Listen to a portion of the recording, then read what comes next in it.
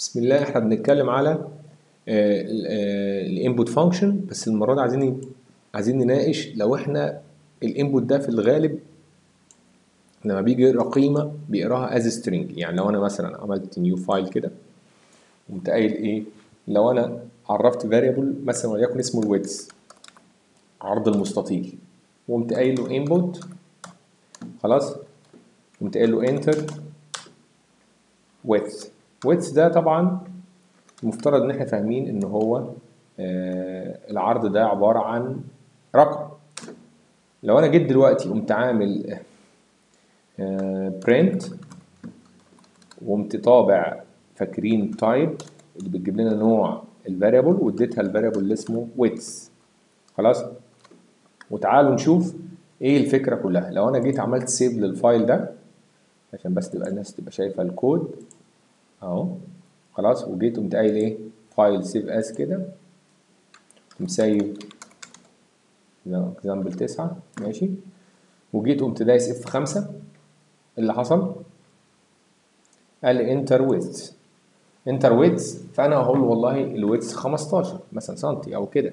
فما دوست enter قال لي إن أنا استقبلت ال 15 از string class يعني تعامل معاها على أساس إن هي يعني يعني يعني كده نقدر نفهم إن هو بيتعامل مع القيمة اللي بيدخلها ال user ايا كانت إيه هي بيتعامل معاها كأنها string نص. يعني اللي إحنا كتبناه هنا اللي إحنا كتبناه هنا اهوت في الحتة دي هو شايف إن هو آه string يبقى كده ال input بتاخد ايا كان المدخل هو عبارة عن string ففي ده في two functions built in functions اسمها data conversion functions أو بيانات التحويل يعني.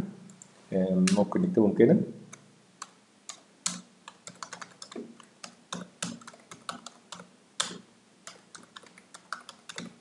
اللي هم عندنا الشهيرين في تحويل ال data في عندنا int وفي عندنا float. int بتاخد هنا string مثلا وتحوله إلى int و float برضه بتاخد مثلا string هنا وتحوله إلى إيه؟ إلى float يعني رقم في. في حاجات كسرية يعني. فلو إحنا هنمشي بالأسلوب ده يبقى هنيجي نقول إيه مثلا؟ هنيجي نقوم عاملين كده. ده عندنا ال width خلاص ده عندنا width مفيش فيه مشكلة خالص. بس ده كده كده إحنا input فال function input هتقراه string فأنا لازم أحوله قوم جاي عامل دبليو مثلا وقوم قال دبليو مش عايزين width لا دبليو بس وتقال دبليو بيساوي مش هحط جواه ال width لو حطيت جواه ال width خلاص يبقى أنا عملت variable اسمه دبليو وبقى جواه قيمة نفس القيمة اللي موجودة جوه ال width تقول لا. أنا هعمله مثلا int هستخدم ال int أو شيك شاف int وقال لك هنا القيمة عشان يحولها لك إلى إيه؟ إلى integer خد بالك لازم تكون base 10 يعني بالنظام العشري اللي هو بتاعنا العادي اللي هو 0 1 2 3 4 5 6 7 8 9 وال combinations اللي بتحصل ما بينهم. فقفلت كده فخلاص كده هيحول القيمة النصية اللي هنا هيتحولها إلى قيمة رقمية. لو أنا جيت طبعت إن هو نفس الكلام بس قلت له اطبع بقى هنا الدبليو خدوا بالكم من حاجة. آه خدوا بالكم من حاجة إن أنا كل الفرق ما بين الويدث والدبليو إن دي داخليا ال Python فاهم إن هي string دي داخليا ال Python هيبقى فاهم إن هي int لأن دي بتحول اللي هنا إلى int زي ما ال input ليها وظيفة إن هي تاخد من ال user حاجة من على الكيبورد. int بتاخد قيمة نصيه string و to convert تحولها إلى رقمية. فالدبليو بقى رقم. إيه الفرق ما بين الرقم وبين النص؟ طبعا هنتعرف في الدرس الجاي إن شاء الله إن الرقم بيحصل على عمليات. يعني إيه بيحصل عمليات؟ 5 زائد 5 ب 10 لكن النصوص 5 يعني النصوص 5 زائد 5 هيحط لك 5 جنب 5 مش هيفهم. يعني 55 جنب بعض. هنشوف دلوقتي الكلام ده الفرق ما بين النص وما بين ال string لكن أنا المرة دي بعد ما عملت convert وسيفت ال file بتاعي ودوست F 5 المرة دي لما جه قال لي enter ال width خد بالك اما قلت له 5 ودوست enter قال لي الأولاني class string اللي هو كان بيطبع فيه ال width والتاني خلاص فهم إن هو int اللي إحنا بعد ما حولنا إلى إيه؟ إلى النوع int بعد ما حولناه إلى النوع int ما بقاش عنده مشكلة. يبقى إحنا كده عندنا نفس الكلام. بالنسبة لل int وبالنسبه لل float ال float بتمشي بنفس الطريقة. العيب في الطريقة دي العيب في الطريقة دي إن إحنا عندنا مشكلة إن إحنا عملنا two variables عشان نقدر نشتغل. فدي إحنا بنسميها inefficient أو حاجة يعني مش كويسة إن إحنا نستخدمها عشان بن create two variable أو two variables لنفس الفكرة. الحل إيه؟ إن إحنا نستخدم حاجة بنسميها nested functions call. ال nested functions call يعني ممكن نقدر ننادي على أكتر من function في بعضيهم. أنا هدي بس سيب عشان ما اضيع لكمش ال example ده.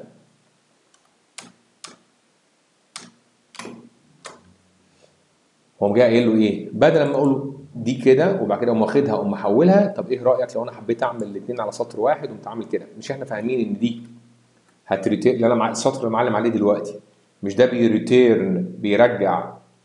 آه، نص. النص اللي هيرجع ده اقوم محوله ل int على طول على الطاير. يعني اقوم جاي هنا قايل int وفاتح قوس وقوم قافل قوس هنا في الآخر. إيه اللي حصل كده؟ كده اللي جوه القوسين بتوع ال int فاتح القوس أهو نهايته أهو اللي ما بين القوسين ده هي extract هيخرج لي كلمة input enter width هتخرج لي اللي ال user دخله. بس هي بتفهمه إن هو string في كل الحالات.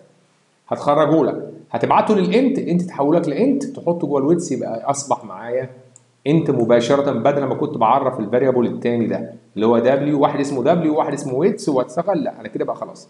أنا من ال input خدت string هوب extract ته راح على ال int هوب ال int حولها إلى إلى integer ال assignment حطيتها جوه ال variable اسمه width كانت vari كانت قيمة ك variable مفهوم إن ال type data type بتاعته نوعها int مش نوعها string هتفرق إيه؟ هنشوف كمان شوية. لكن تعال نشوف كده لو دوسنا control S ودوسنا F 5 قال لي دخل ال width قلت له 15 دوست enter قال لي على طول ده int فهم على طول الفكرة. خلاص فهم على طول الفكرة وعملية التحويل بدون آه، مشكلة على طول مباشرة. يبقى إحنا كده عملنا ال nested functions يعني function جوه function فال function أول حاجة بينفذها ال Python ال function الداخلية. فينفذ الداخلي ثم يخرج للخارجي ثم لو في ثالثه ينفع يبقى الخارجي ثم الخارجي ثم الخارجي يعني بيخرج من الصغير إلى إيه؟ إلى الكبير وبالشكل ده بيقدر إيه؟ يحول الأنواع اللي أنت عاوزها. آه ليه الفرق إيه؟ الفرق إيه؟ هعمل مثال تاني عشان اوضح لك الفرق ما بين السترينج وال لو أنا أخدت قيمة string واشتغلت عليها هيحصل إيه؟ مثلا ده ال width وقمت قايل ال مثلا قلت له هات ال height أو ماشي و height وقمت قايل له input مثلا enter ال height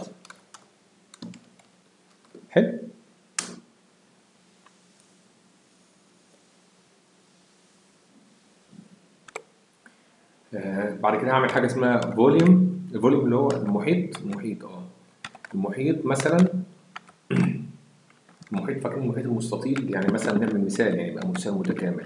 المحيط المستطيل اللي هو 2 في الطول زائد 2 في العرض صح؟ يعني عايز أقول 2 في ال width زائد 2 في ال height المثال ده هنتوقف معاه كتير.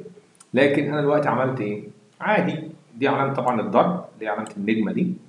و2 في ال width زائد 2 في ال height فكده المفترض إن هو هيحسب الحسبة يحطها جوه ال volume واما أجي أطبع هقول له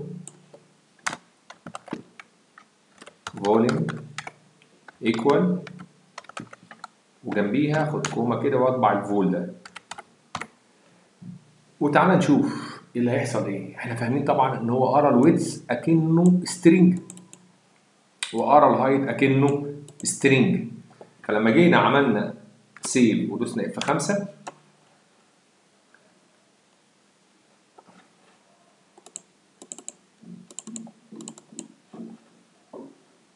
قال لي enter ال width العرض. قلت له العرض مثلا وليكن 10 الطول قلت له وليكن 20 دوست enter قال لي الفيديو ال volume زي ما أنتم شايفين كده. إيه ال volume اللي عمله. قال لك 10 10 بعد كده 20 20 يعني آه، ضرب ال 10 في 2 آه بس هو ما ضربهاش في 2 ما فهمش إن 10 2 2 في 10 ب 20 لا هو حط 10 و10 زائد جنبها حط 20 في 20 اللي هي 2 في 20 فقال لك 20 في 20 و20 لزق كلام. ما فهمش إن ال 10 بعدها 11 12 13 ما فهمش. ما فهمش ليه؟ لأنه مش عارف إن دي أرقام هو شايفها نصوص فلزقها جنب بعض. زي ما بقول لك إيه مثلا what's your name تقول لي أحمد. مثلا أقول لك what's your first name تقول لي أحمد. أقول لك what's your second name أو last name تقول لي كريم. فلما أجي أدمجهم جنب بعض أقول لي أحمد كريم. نصوص عادية strings لكن كده ما قدرش يفهم. فعشان كده إحنا بنقول إيه؟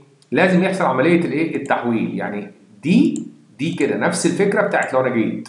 تعمل save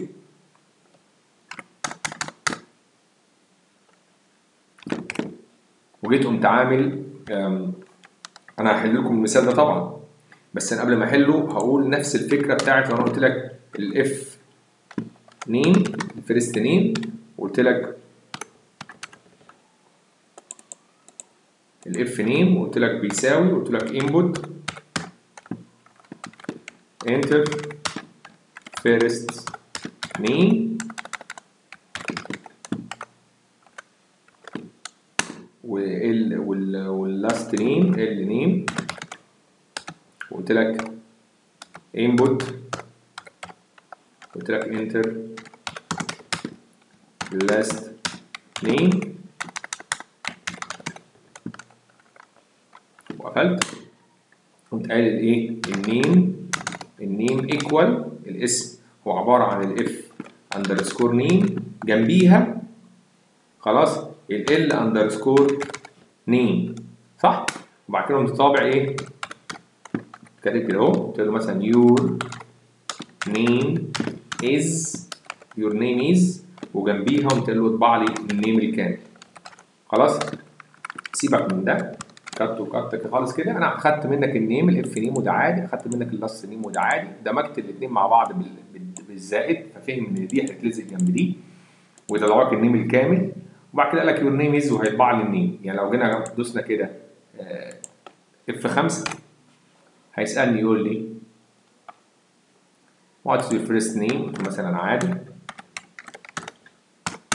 what's your second name أو last name قلت له صبور فقال لي your name is عادل صبور طبعا هو لازقهم في بعض لأن هو أنت ما قلتوش إن في space فهو مش هيعمل حاجة أنت ما قلتلوش عليها. يعني لو كنت عايز تحط space مثلا for example يعني. كنت ممكن أو واخد كده double quotation double quotation وزائد هو فاهم إيه؟ هيلزق كلمة F name وبعديها هيلزق space وبعديها هيلزق ال last name ودوسنا control S ودوسنا F 5 وعاد عليا السؤال تاني. what's your first name قلت له عادل. قال لي what's your last name قلت له صبور دوست enter قال لي your name is وقال لي عادل صبور طبعا ده منظر دي طريقة ممكن أطبع الاسم بطريقة تانية عشان بس نبقى فاهمين حاجة. your name is ممكن قايل له ال F underscore name comma وال L underscore name ما حطهمش جوه variable تاني اللي هو ال name الكامل. عملت بس بال comma كده ودوست save F خمسة وعدت تاني الادخال عشان أوريكم فرق الطباعة.